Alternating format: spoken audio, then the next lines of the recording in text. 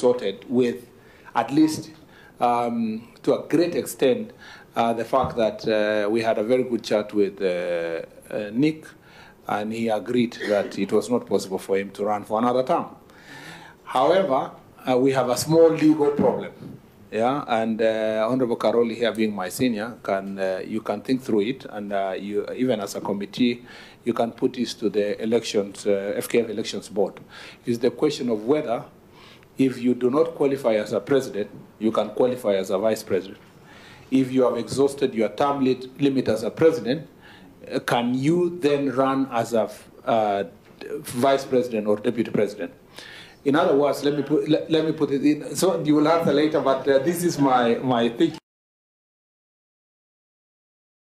Put it in black and white. Can the President uh, deputize anybody in 2027 elections?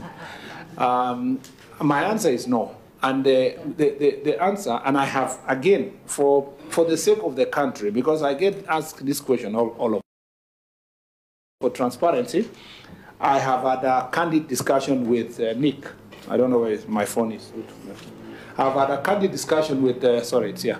I've had a candid discussion with Nick, and um, I wanted to read the committee, uh, the provisions of our constitution. Our own constitution says that um, the deputy president, uh, each candidate in a presidential election shall nominate a person who is qualified for nomination for elections as a president as candidate for deputy president.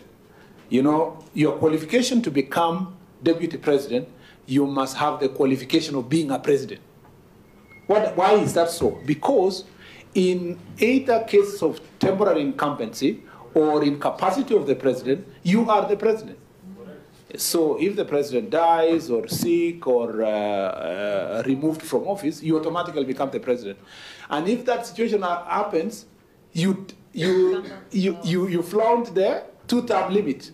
So in essence, uh, our constitution of Kenya, in relation to the president of Kenya and the deputy president of Kenya, uh, uh, uh, provides the same. The American uh, constitution in the 12th amendment says, no person constitutionally ineligible to the office of the president shall be eligible to that of vice president of the United States. So since I have had this conversation with my friend Nick, and I, I promised during my vetting uh, and, uh, that I was going to have this conversation, I really think it will be good for the FKF Elections Board to make it in black and white to stop people from coming to my office because I am not, I am not uh, running the elections. Um, I think it's important for the committee to publicly, publicly, uh, the elections board publicly pronounce itself on this issue so that we avoid a situation where they will do this to the end then people either go to the tribunal or to the court or petition the cabinet secretary, and we start saying, okay, the team, should the candidate in this situation uh, be able to run?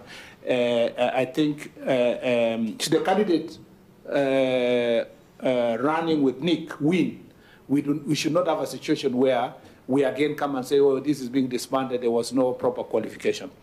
The, the, what I would put as a proviso is that a president can run for any other seat. I think the second or the third American president, after finishing for presidency, he ran for Senate, and he served in the Senate.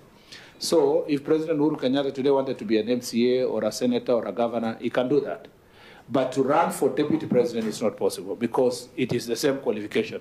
So if Nick still is desirous to become uh, a committee member of FKF or uh, Secretary General or any other position, I think this is constitutionally, this is specific to the holding office of a vice president of, of term limits. And I think I owe the country a proper legal advice as a lawyer, not sitting just there to, to look at things the, the, it is, but also to avert a crisis where we will reach on 7th of December and, and say that uh, uh, whatever. And, and to be very fair, so that people don't look at me as uh, coming here to interfere with elections, Nick has served uh, fantastic. Uh, and he deserves to want to run for any other seat except for president and vice president. If he wants to do so, he has the freedom to do so. But to keep to, to for him to in keep with our constitution, I think it's advisable that that position is clear now. And I hope when the FKF elections board come here, they can clear that now, so that Kenyans do not live with uh, that uncertainty going forward. And I'm happy that the board is being high, led by a professor, so it, it should not be very difficult for him to appreciate uh, the legal position. Thank you, Chair. Chair, Chair, uh, Maybe before we go ahead, uh, there are a few members who entered as we are going on with our meeting. They can introduce themselves, starting Chair, from. Chair- Chair, thank you very much. My name is Charles Nguna.